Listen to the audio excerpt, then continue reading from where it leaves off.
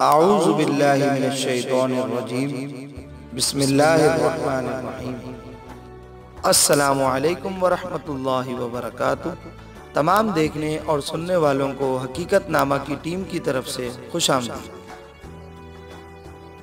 आप सलाम का नाम मुबारक हूद।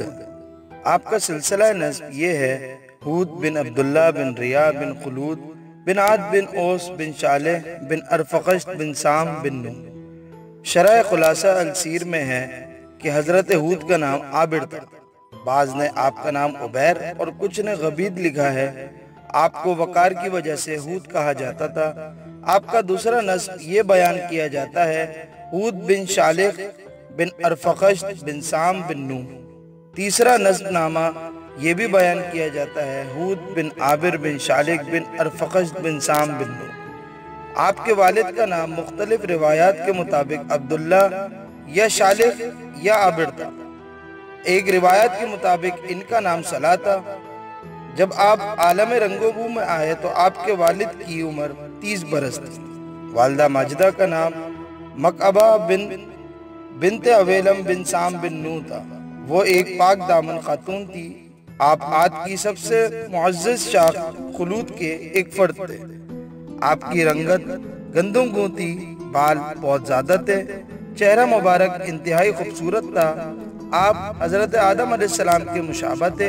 आपका चेहरा सभी बुलंद कामत, बाल घुंघरियाले और दाढ़ी मुबारक कसीर थी। हुजूर वसल्लम का नूर मुबारक हज़रत हूद की पेशानी में चमकता था। जब लोगों ने ये नूर मुबारक देखा तो कहने लगे, ये शख्स एक खुदा की इबादत करेगा और बुतों को छोड़ देगा। लोगों ने आपकी बहुत ताजीम की। आपको 40 बरस की उम्र में कौम आद की तरफ़ मबूस किया गया। हज़रत नू सलाम का एक पड़पोता था। इसका नाम आद बिन अरम था। इसकी नस्ल से बड़ी शहजोर और साहिब हुकूमत कौम पैदा हुई। इसको आद ओला भी कहा जाता है। हज़रत हूद बादशाह खुलजान और लुकमान बिन आद बिन आद या बिन सद बिन आद के अहद हुकूमत में मबूस हुए थे। यूरोपी मुसनफिन आद की दास्तान को एक फर्जी कहानी समझते हैं, मगर इनका ये यकीन बिल्कुल बातिल और सरासर वहम है। इसलिए कि जदीद तहकीकात का ये एक मुसलमा फैसला है कि अरब के कदीम बाशिंदे कसरत अफराद कबाइल के अतबार से एक बाज़मत सतूत जमात की हैसियत में थे। जो अरब से निकलकर शाम, मिस्र और बाबुल की तरफ़ बढ़े और वहाँ ज़बरदस्त हुकूमतों की बुनियादें कायम की। अब फ़र्क सिर्फ़ ये है कि अरब इन बाशिंदों को अमे में बायदा, यानी हलाक होने वाली कौमें, या अरब अरबा, यानी खालिश अरब और इनकी मुख्तलिफ़ जमातों के अफराद को आदो समूद, लहम और जदीस कहते हैं और मुस्तशकरीन यूरोप इनका नाम उमम सामिया रखते हैं। असलाहत और ताबीरात के फ़र्क से हकीकत वाक़ में कोई तब्दीली नहीं हो जाती।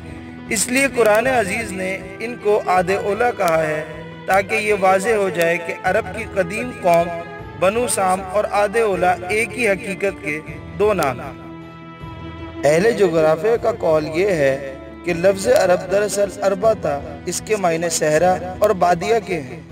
खुद अरबी जबान में अराब अहल बादिया को कहते हैं और अराबा का मायने बदुयत है।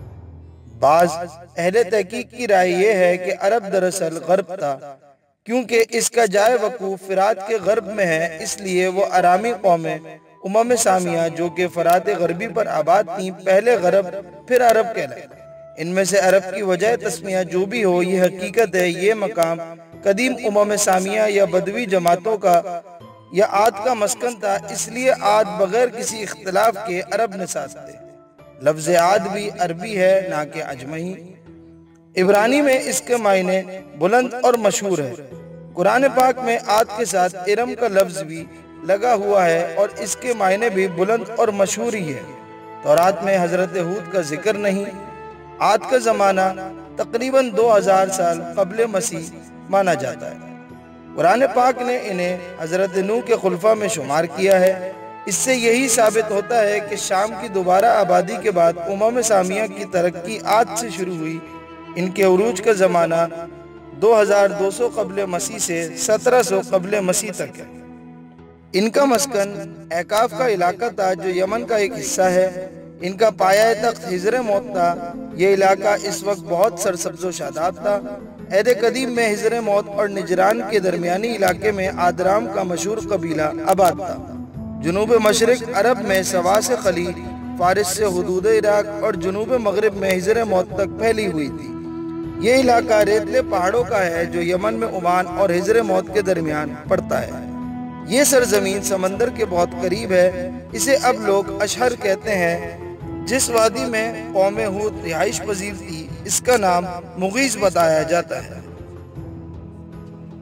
आज बुत परस्ते और अपने पेशरू कौम नू की तरह सनम परस्ती और सनम तराशी में माहिर थे। तारीख कदीम के माहरीन कहते हैं कि इनके मबूदान बातला भी कौम नू की तरह वद, सिवा, यगूस, यऊक और नसर ही थे। कौम आद के लोग अल्लाह ताला के वजूद के कायल थे और ये भी तस्लीम करते थे कि वही ज़मीन व आसमान का मालिक है। लेकिन अपने खुद तराशीदा बुतों के बारे में ये अकीदा बातला रखते थे कि ये अल्लाह ताला की अलवहियत और खलकियत में शरीक हैं। इबादत के इस्तेकाक में भी इसके शरीक हैं क्योंकि ये अल्लाह ताला की बारगाह में सिफारशी हैं। हज़रत हूद सलाम, हज़रत नू सलाम से 800 साल बाद तशरीफ़ लाए। 40 साल की उम्र में अल्लाह ताला ने इनके सिर पर नबूवत का ताज सजाया। आपने अपनी कौम राहराज की तरफ़ रहनुमाई की। आपने जो फरमाया, अल्लाह ताला ने उसको कुरान मजीद में इस तरह बयान किया है कि, ए मेरी कौम, इबादत करो अल्लाह ताला की। नहीं है तुम्हारा कोई मबूद इसके सिवा, क्या तुम नहीं डरते? और दूसरे मकाम पर अल्लाह ताला ने बयान फरमाया, आपने कहा, ए मेरी कौम, इबादत करो अल्लाह ताला की। नहीं है तुम्हारा कोई मबूद इसके सिवा। नहीं हो तुम मगर इफ्तरा परदास इसमें तो उल्मा का इत्तेफाक है कि आप इनके दीनी भाई ना थे, लेकिन इसमें इख्तलाफ है कि क्या इनसे करीबी रिश्ता था या नहीं। अल्लामा कलबी ने कहा है कि आप इनके कबीले के एक फर्द थे।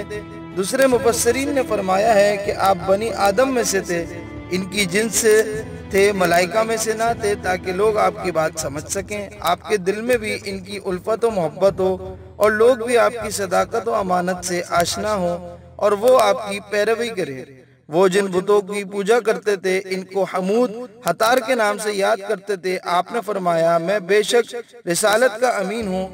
कलबी ने कहा, इसके मायने ये हैं कि मैं रिसालत से पहले तुम्हारे दरमियान अमीन था। इससे कबल तुम मुझे मोहतम नहीं करते थे तो आज तुम क्यों करते हो? आपने फरमाया चुनाचे कुरान मजीद में इर्शाद है और मैं नहीं तलब करता तुमसे इस खिदमत का कोई सिला। मेरा अजर तो इस पर है जो सारे जहानों का पालने वाला है। हज़रत हूद सलाम अपनी तबलीग में बार बार ये दोहराते थे कि मैं तुमसे किसी अजर एवज का ख्वाहा नहीं। मेरा अजर तो खुदा के पास है। ये नबी की ज़िंदगी का तुर्रा इम्तियाज़ है। इन पर कोई ये तोहमत नहीं लगा सकता कि वो माल की तलब में ऐसा करते थे, या वो इज़्ज़त व जा और रियासत के तालिब थे। ना वो अपनी कौम से रियासत और इज़्ज़त के तालिब होते, ना मालो मनाल के। इनके सामने तो एक ही नुकता होता था, और वो अदाय फ़र्ज़ और अपने मालिक हकीकी के अहकाम की पैगाम रसानी था। तो आप तमाम देखने और सुनने वालों से इल्तमास है कि हमारे चैनल हकीकत नामा को लाइक, शेयर और सब्सक्राइब करें और साथ ही साथ बेल आइकन को भी प्रेस कर दें ताकि हमारी नई आने वाली वीडियोस आप तक बर वक्त बजरिया नोटिफिकेशन मौसू हो सके। और अगर हमारी ये वीडियो आपको अच्छी लगी तो कमेंट बॉक्स में हमें अपनी राय से आगाह ज़रूर करें। अल्लाह हम सबको अपनी हिफ्ज़ अमान में रखे। आमीन।